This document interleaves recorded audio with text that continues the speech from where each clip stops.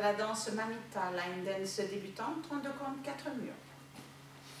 On est en appui sur le pied gauche et on va faire à droite, rassemble, à droite, rassemble, à droite, rock step arrière gauche, pied gauche à gauche. Puis croise derrière, décroise, croise devant, pied gauche à gauche, rock step, pied droit à droite, pose pied gauche derrière. Marche droit, marche gauche, marche droit, pointe à gauche, recule gauche, recule droit, recule gauche, pointe à droite. Croise le pied droit devant le pied gauche, pointe à gauche, croise le pied gauche devant le pied droit, pointe à droite, boîte de jazz, quart de tour, croise, décroise, quart de tour, cross. Et la danse est terminée, on peut la refaire avec les comptes. On appuie sur le pied gauche, 7, 8, 1, 2, 3, 4, 5, 6, 7, 8, 1, 2, 3, 4, 5, 6, 7, 8, 1, 2, 3, 4, 5, 6, 7, 8, 1, 2, 3, 4, 5, 6, 7, 8. La même chose en musique.